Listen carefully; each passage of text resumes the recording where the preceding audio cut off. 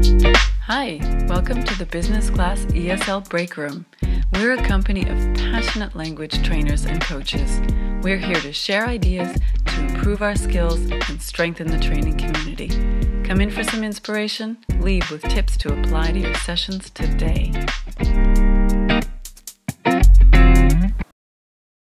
Hi, and welcome to the ESL Break Room.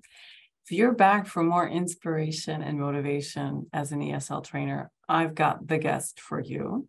Today, we are welcoming Nina Hanáková, who is a Nina English from the Czech Republic. She's also the founder of the Successful Women in ELT group. And I brought her on today because she just has such a bright demeanor and disposition and a megawatt smile. And I thought she would have a lot to share in terms of um, what she brings to the table in language training because um, as I've witnessed her and, and, experienced her material out there in social media, I think she definitely embodies the dogme approach, and she might want to talk to us about that. So, Nina, welcome. Hello, and um, thank you very much for your invitation and the introduction. I am blushing here. no, don't be so seriously. Since we've met, you know, you definitely exude a lot of enthusiasm for what we do. And that's what we're looking for here at ESL Break Room.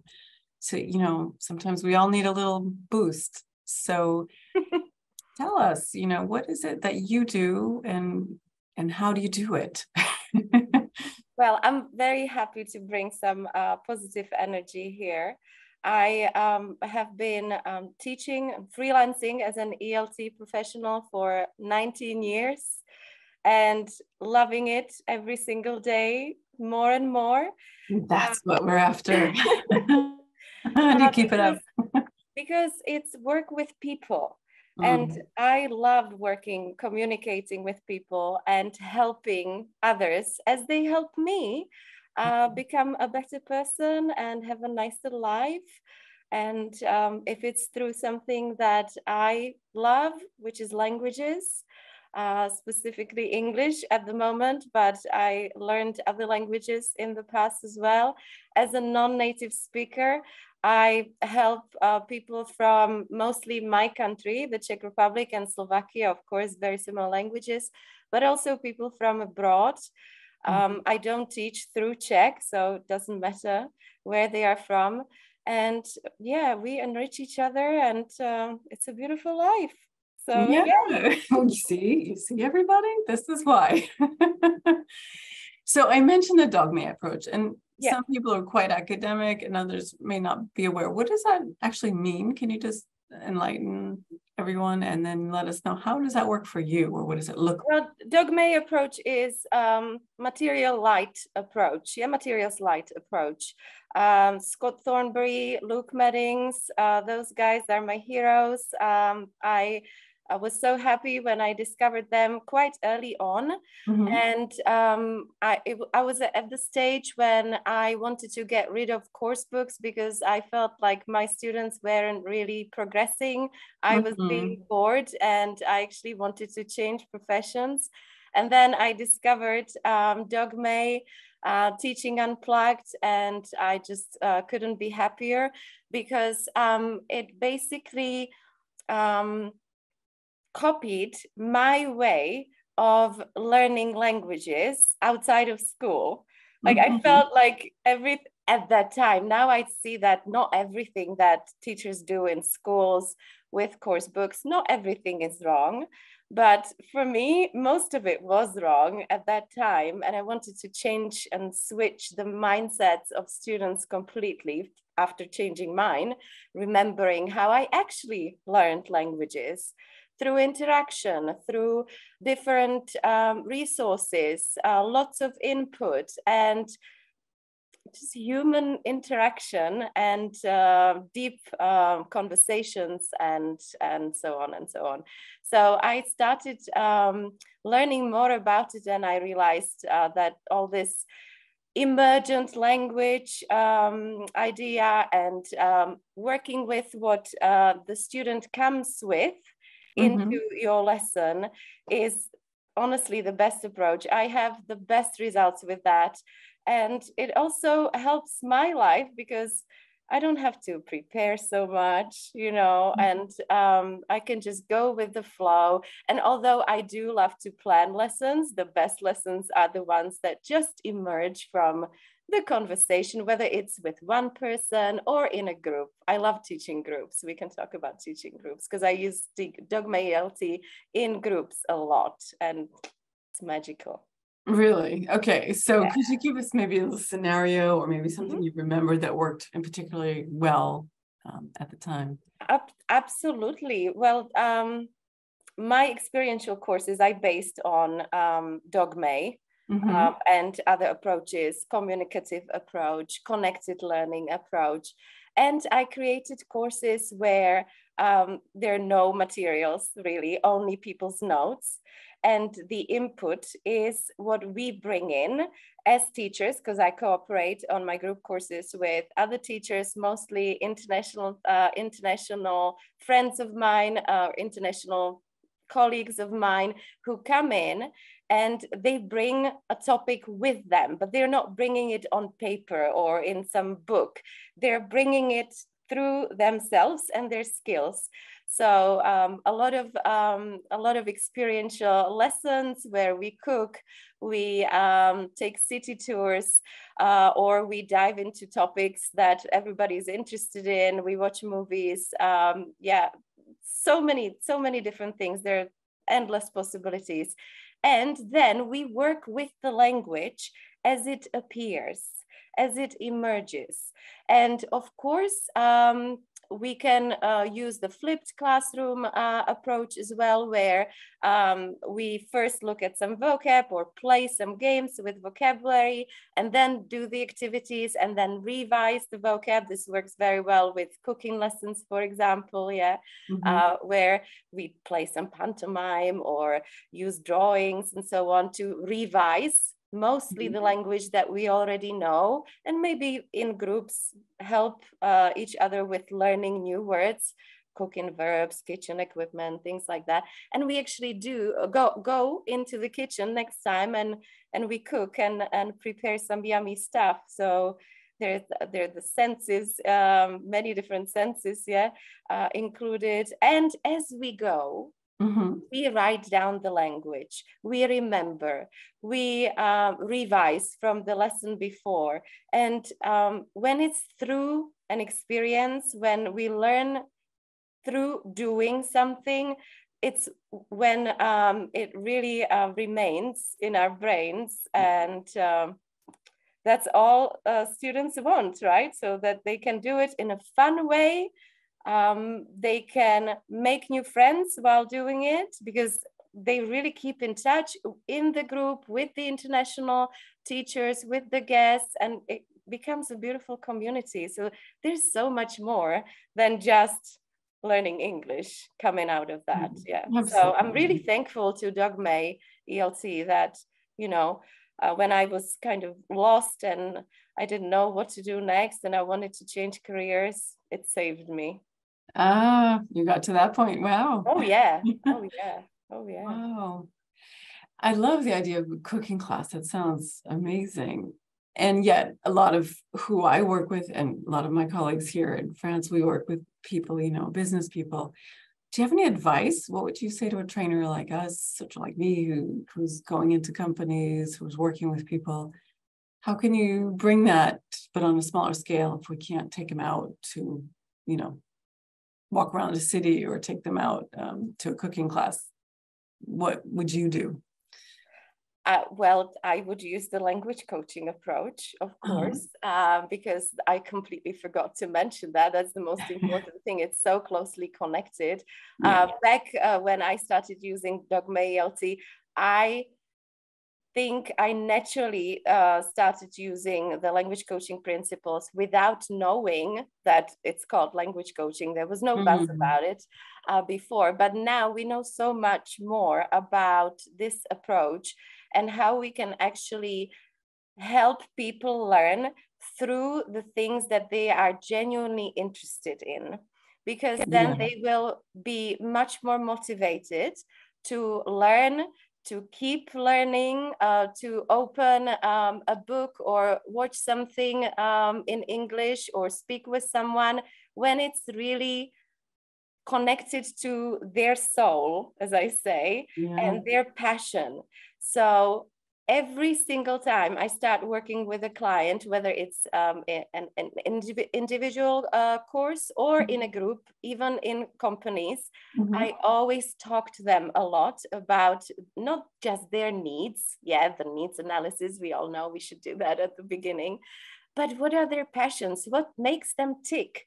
in their own language. So I actually have a questionnaire. It's a very simple one that everyone needs to fill out before we even start working. And then I gather all this information about everyone and we just discuss it in the first lesson. And they if it's in a group setting they just share. And in business settings in office settings it gets really exciting because people learn so much more about them uh, about each other about their colleagues you know and they start laughing. And it can become this friendly atmosphere, friendly time when they don't drag the fact that oh now there's another uh, english lesson you know mm-hmm. especially if you uh, work with uh, uh, with um, people who are not so keen on learning the language and they just need it for negotiating or writing emails and they're bloody bored with that. Yeah yeah.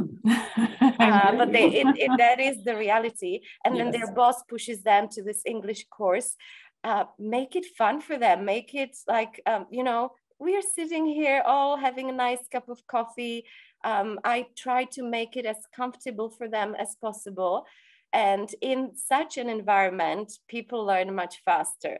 When I work with my, let me just add to that, that when mm-hmm. I work with my colleagues, uh, because I have a small language school. So I work with uh, colleagues who are teaching other groups, yeah? And they always ask me, well, Nina, what, like, what do you want from me? What, what, what do you want me to, to do? Uh, first of all, be yourself, of course. Mm-hmm. And like you told me before uh, this interview, just be yourself. and um, so I am. And then the second thing I, I say, as long as the people laugh, and uh, the I can hear the uh, the laugh and the chatter from the classroom coming into my office. Yeah, as long as you manage to do that, they're gonna be learning. Ah, that's great. That's great. Yeah, you just bring such a buoyancy to the whole topic, which I, I really appreciate. Um, what are you excited about right now? I mean, the start of the new year, have you found yourself, I don't know, interested in any particular new aspect of things or something to try with your groups or your people? Well, um, recently in the past three or four years, yeah, 3 mm-hmm. or four years now, I've been uh, more focused on helping other teachers, my colleagues, and people from um, the Czech Republic, Slovakia, and now also internationally uh, with help of social media, especially LinkedIn, where we both met. Yes. Uh, help my colleagues um, with their careers, so mm-hmm. both business wise and methodology wise. So for those who are interested in in uh, this language coaching, Dogme ELT, experiential learning, so just sharing my experience, mm-hmm. helping them get where I got through hacks, tricks, and shortcuts. I love helping people uh, with uh, shortcuts. And uh, they're always amazed how simple it actually sounds. It's like, yes, it's common sense. And, Not always common practice. and I, have just been so excited about helping other ELT freelancers um, become more confident, become more successful. So recently I've been running a club for female ELT entrepreneurs and um, I've started a podcast. I also do interviews. It's called Successful Women in ELT, where I interview not just women, but men as well. And not just from ELT, but uh, business mentors, yeah, who can help us with copywriting or what is it like to have kids and uh, we call it mompreneuring. This is my mm-hmm. newest podcast that I just mm-hmm. published today. Um, what is it like um, to um, have to be teaching two languages? Um, inspiring interviews with other uh, successful English teachers, freelancers. Yeah, it's all for mm-hmm. freelancers, mm-hmm. uh, both men and women. So this really excites me, and this is my thing these days. Apart from teaching, because I never want to stop teaching. If I'm supposed to be, you know. Uh, what should I say, um, sharing uh, the wisdom from my from my uh, field, I yeah. should still be in touch uh, with teaching. I believe it's really really important and progress in teaching myself. Yeah. I am super. When you're asking about, if you ask me about teaching, um, there's one thing I'm really excited about now, and that's um, audio messages, audio recordings uh, everything audio because we are all so tired from the screens. Yes. And um, there is such, um, uh, I would say, um, such a big need uh, mm-hmm. for uh, getting out after the pandemic, getting outside, taking walks, and uh, a lot of people are starting to listen to podcasts or mm-hmm. or uh, sending each other messages mm-hmm. audio messages. I actually love to teach without the, the camera on because I believe we focus on the language and each other mm. and mm-hmm. communication much more when we are not distracted by looking at ourselves and each mm-hmm. other. Mm-hmm. Of course, if I need to show something, how to pronounce something, I can put the camera on. But most of the time, it's not necessary. So learning through audio, both um, exchanging messages between students, teacher, student, student, teacher, and also listening as input. I yeah. think I think uh, this is a big thing these days, and uh, we could use m- more of um, that in our in our teaching in our courses. Indeed, and it's fabulous how it's become much more accessible because yeah. we, we all before we had just sort of the recorded audios from the, the books that weren't always very natural. And now looking for my airpods here. I'm in love with my airpods. This is the best investment. Everybody get airpods. Or something like that because it will set you free. I started listening to so much more these days. Oh yeah. Yeah. and it's great. It's like having having your best friends around all the time. Yeah. they're in your ears. Indeed, indeed. So we are hoping to do that now with this podcast, with this interview, yeah? So hello exactly. everyone. this is what we do. And when I send a message to our group of trainers, sometimes I say, here's something for your weekend walk and your jog, you know? Yeah. Um, yeah. And so do you, I love when you said you had hacks. Do you have maybe, what's your favorite hack, top hack or time saver or uh, I don't know. It's one that what's one that makes people go, wow, why didn't I think of that? Okay, so I'll connect it to, I'm thinking now, but I'll probably connect it to what I've just said mm-hmm. about recording um, messages or recording something for the student.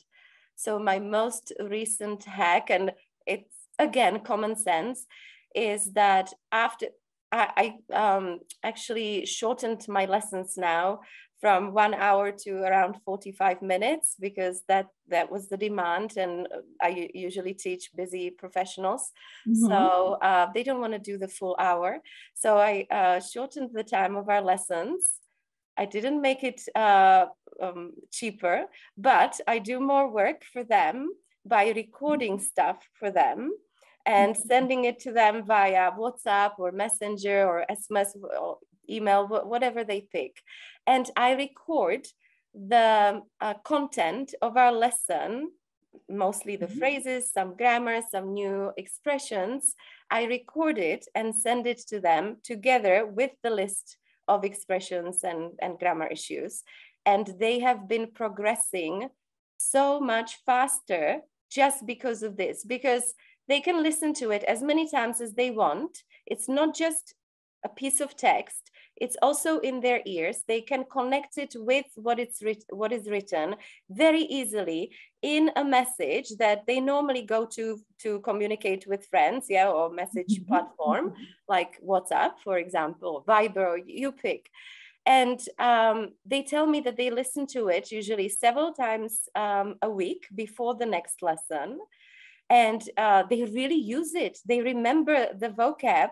So this is so much more um, effective than all the vocab apps and uh, you know posting it in a google document and then sharing it with them um, i i just get as close to them as possible this way I repeat the list of uh, words and expressions twice, and I give, there's this break, there's this uh, pause that they can use for repeating it themselves. Mm-hmm. They hear it with their English teacher's voice, so yeah. they feel like it's um, very, you know, personalized. It is because sometimes I make comments about this or that grammar that maybe I didn't mention in the lesson because they you know, there was no uh, space for that. They love it. They tell me, oh, I especially love when you make like personal comments to me.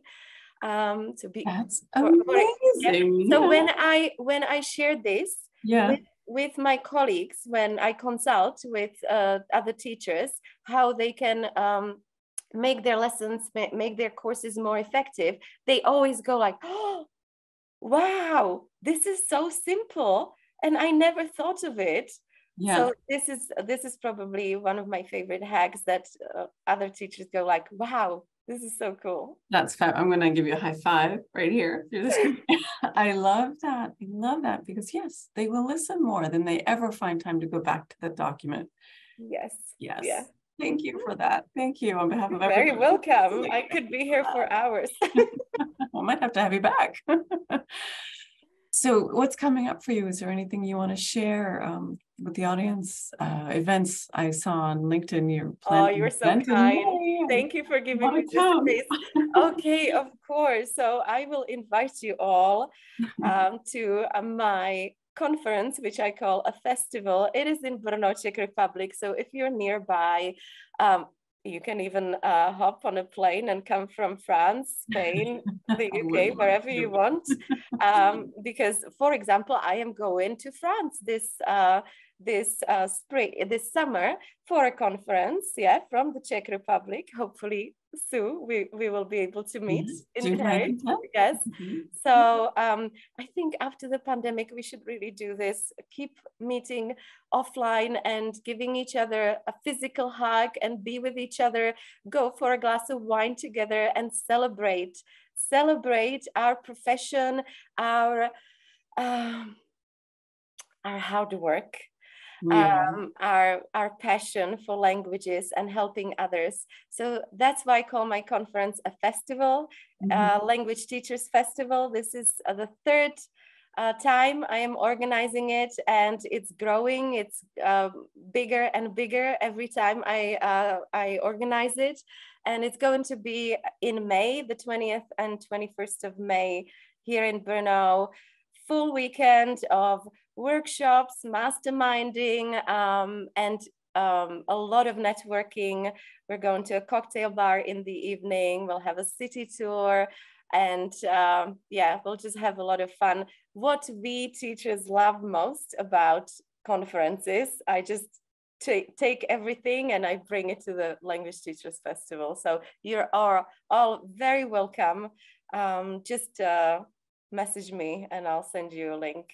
Sounds absolutely fantastic. I've already checked my calendar. But anyway, thank you so much, Nina Hanáková. And how can they reach you best? What's the best way? What's your website? What is your my website uh, is unfortunately mostly in Czech at the moment, mm-hmm, um, mm-hmm. but you can always uh, use Google Translate, uh, of course. So ninaenglish.cz.